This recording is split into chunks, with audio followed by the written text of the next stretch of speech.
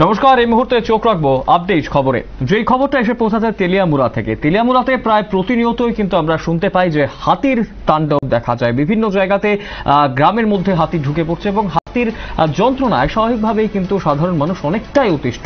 এবং সেই জায়গাতে বন দপ্তরের কর্মীদের কাছ থেকে বাজি পটকা সেখানে দেওয়া হয়, স্থানীয় বাসিন্দাদের সেটা ব্যবহার করা হয়।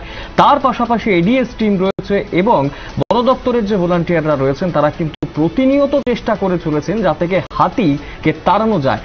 গ্রামে যাতে প্রবেশ না করে এবং ফসল থেকে শুরু করে বাড়িঘরের ক্ষয়ক্ষতি যাতে হাতি না করে। কিন্তু এই বিষয়গুলোকে কেন্দ্র করে অনেক ক্ষেত্রে দেখা যাচ্ছে যে বন দপ্তরের কর্মীরা সফল হচ্ছেন কিছু কিছু ক্ষেত্রে সফল হচ্ছেন না। এই বছর এবার নতুন একটা পন্থা অবলম্বন করছে বন দপ্তরের কর্মীরা। হাতি তাড়ানোর জন্য এই বছর আহ, এই আহ, এ এবার যেই পন্থাটা অবলম্বন করা হচ্ছে। সেটা হচ্ছে মরিচের গুঁড়ো দিয়ে মশাল জ্বালিয়ে হাতিকে তাড়ানোর চেষ্টা করা হচ্ছে। সেই চেষ্টার মধ্যে, সেই ব্যাপারটা যেটা বানানো হচ্ছে, এই জিনিসটা যেটা বানানো হচ্ছে, তার মধ্যে যে উপকরণগুলো মিশানো হচ্ছে, তার মধ্যে অবশ্যই রয়েছে বাঁশ, আস্ত শুকনা মরিচ, লঙ্কা যেটা বলা হয়। চটের বস্তা গুনা এবং কেরোসিন। এই বিষয়গুলো দিয়ে বানানো হয় একটি মশাল। এই মশালটা হাতির দিকে তাক করে ছুড়ে দেওয়া হয়, জ্বালিয়ে, আগুন জ্বালিয়ে। এবং সেই দুর্গন্ধে হাতি প্রবেশ করবে না। এমনটাই কিন্তু ধারণা করা হচ্ছে এবং চেষ্টাটা সেটাই করা হচ্ছে। তবে অবশ্যই এখনও এই পুরো সিস্টেমটার কতটা সেটার ফল ভালো পাওয়া যাবে নাকি খারাপ হবে সেই বিষয়টা এখনও কিন্তু স্পষ্টভাবে কোনো কিছুই বোঝা যাচ্ছে না, যদিও নতুন এই পন্থাতে অবশ্যই কার্যকরী হবে এমনটা বিশ্বাস কিন্তু অবশ্যই বন দপ্তরের কর্মীরা করছেন। উনত্রিশ কৃষ্ণপুর বিধানসভা কেন্দ্রের অধীন কৃষ্ণপুর, মধ্য কৃষ্ণপুর, বালুছড়া, কপালি টিলা সহ কৃষি প্রধান এলাকাগুলোতে বন্য হাতির দল রাতের অন্ধকারে তাণ্ডব চালিয়ে জমি কিন্তু নষ্ট করে ক্ষেতের ফসল যে রকম ভাবে নষ্ট হয়, লোকজনের বাড়িঘরও সেখানে অনেকটাই নষ্ট হয় এবং বাড়ির ভেতরে মজুত করা খাবার দাবারও কিন্তু অনেক সময় হাতির দল নিয়ে চলে যায়।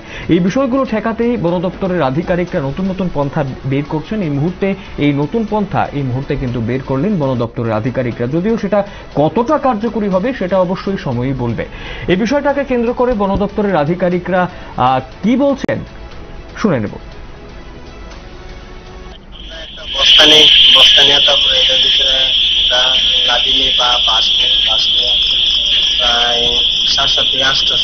মতন মরিচ লাগে। একটা বড় বস্তা বানাইতে। আস্তে একটা বস্তা বানাই। আর তবে এটার পাশাপাশি আমরা আবার ছোটো ছোটো মশলা বানাই। যদি হাতি এলে অনেক সময় কেরোসিন দিয়ে আমি ধরে সামনের দিকে মারিয়ে আর এটা দেওয়ানোর মেইন কারণ হচ্ছে যদি ধুমাটা চারিদিকে ছেড়ে দেয় হাতি ধুমার গন্ধ সহ্য করতে পারে মরিচের তাই জন্য এটা আমরা লাগাই দিচ্ছি মানে লাগাই দিচ্ছি মানে কি, এই অত্র এলাকাতে আর একটা অর্থ না। এটা যে একটা স্মেল বেরিয়ে এটা খুব কড়া স্মেল এর লেগে হাতিকে সহ্য করতে পারে তাই আমরা এটা এখন লাগাই দিচ্ছি বস্তা লাগে তারপরে বাঁশ লাগে আর গুনা আর মরিচ লাগে। আর কেরাসিন এখন লাগাই দিচ্ছি তো এটা ধুমা প্রায় সাতটা আটটা পর্যন্ত থাকব সকালে। আট নয় ঘণ্টা দশ ঘণ্টা থাকে কোনো সময়। যদি টিষ্টি নাই হয়, তাহলে সারা রাত পর্যন্ত।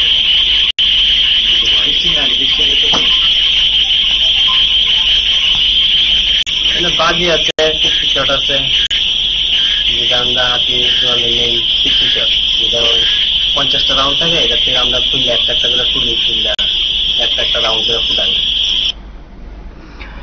আপনারা শুনলেন সেই বন দপ্তরের আধিকারিকের বক্তব্য এবং এই নতুন পন্থা কীভাবে তারা অবলম্বন করছেন, কীভাবে উপকরণ দিয়ে বানাচ্ছেন, সেই সমগ্র বিষয়টা কিন্তু তুলে ধরেছেন তিনি।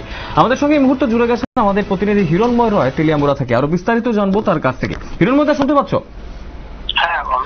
হিরণমদা এই মুহূর্তে তেলিয়ামুড়ার বিভিন্ন জায়গাতে আমরা হাতির উপদ্রবের কথা তো প্রায়শই শুনতে পারি এবং আধিকারিকরাও নিরলসভাবে কাজ করে চলেছেন।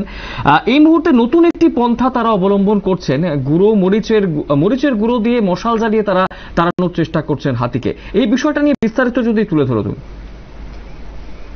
বন্য হাতি তেলিয়ামুড়ার মধ্যে তো নতুন কিছু নয়। বন্য হাতিকে তাড়ানোর জন্য বর্তমানে যে আগে যেমন বাজি পটকা ফুট- যখন ফোটাতো তখনই বন্য হাতি চলে যেত। কিন্তু এখন দেখা যায় যে তারা যখন বাজি পটকা ফোটায়, তখন বন্য হাতি তেমন কোনো তাদের কোনো হেলদুল থাকে না। তার জন্য এখন যে নতুন পরিস্থিতি করেছে বড় দপ্তরের রেস টিমের এবং বড় দপ্তর কর্মীরা, যে মশাল বানানো, সেই মশালের মধ্যে মরিচ থাকে শুকনো মরিচ থাকে এবং চট। এই এটি দিয়ে মশালটিকে বানানো হয় এবং যখন মশালটি ধরিয়ে হাতের দিকে ছুড়ে দেয়, তখন যে শুকনো মরিচের গুঁড়ার যে একটা ধোঁয়া আসে, সেই ধোঁয়া তারা পালিয়ে যায় তখন এবং গভীর জঙ্গলে যায়। হিরণমজা এই মুহূর্তে বিভিন্ন পথ অবলম্বন করে তো হাতিদেরকে তাড়ানোর চেষ্টা ইতিমধ্যেই বন দপ্তরের আধিকারিকরা করছেন। তার মধ্যে কি কি ভাবে তারা এই হাতিগুলোকে তাড়ানোর চেষ্টা করে থাকেন মূলত? মূলত তারা সব থেকে বেশি যেটা তারা বাজি করে, চকলেট বাজি এবং ফিফটি শট এই এই- এইসব বাজি গুলা তারা মূলত বেশি ইউজ করে। এবং এখন যেহেতু হাতির উপদ্রব বাড়ছে এবং কিছুদিন পূর্বেও একটি হাতির দল মধ্য কৃষ্ণপুর এলাকায় প্রবেশ করেছে। তো সেগুলি এখন তেলিয়ামনের বিভিন্ন জায়গায় ছড়িয়ে ছিটে গেছে।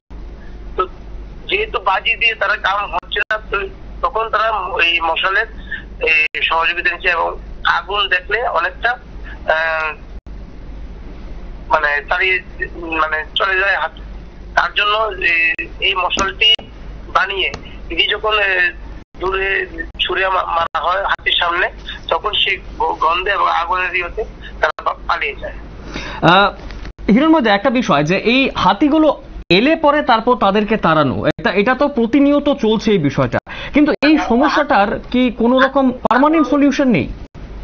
হাতি এলে শুধু না হাতির জন্য যাতে ক্ষয়ক্ষতি না করতে পারে তার জন্য তেলিয়ামরা বন দপ্তরের পক্ষ থেকে, যেহেতু বন দপ্তরের কর্মীরা অনেক সময় যেতে একটু দেরি হয়, তো তার জন্য ভলেন্টিয়ার তৈরি করেছে।